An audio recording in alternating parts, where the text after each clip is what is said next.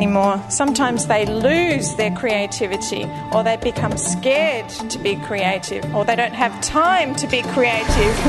what would you tell the adults to help them to be more creative? Help them make a, a car out of a piece of paper. Do adults lose their imagination? Why do they lose it? What happens to us? They just get bored. They have all knowledge when when they're older, so they forget all about imagination. They, they have so much knowledge that it, it squashes out all the imagination in their Yeah. brain, does it?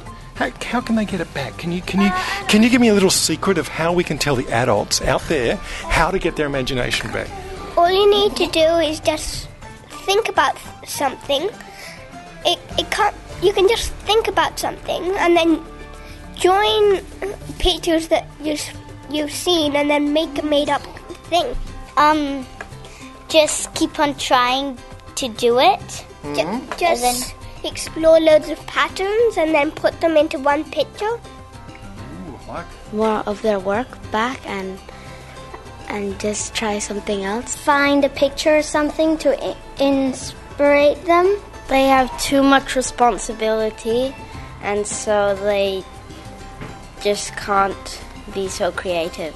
Why do adults lose their creativity? Because they're too old. Too old.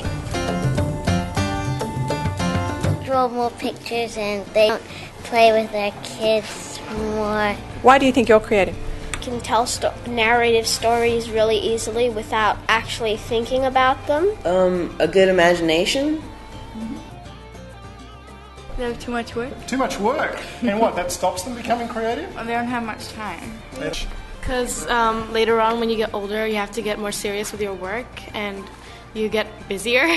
But in English class, like for posters, we used to be able to make them really colorful, and we've just been taught that they have to be really boring and plain, and they can't have many pictures. Just, I think I'm a creative person because when I'm doing a task, I think outside the box, or I may try to do something in a different way that someone else might not do. Are we going to put this on the news? Oh, we could. We might. We might broadcast it to every adult in the world. I think. Oh. So that's why I want to find out what would you say to them. Any last comments on being creative?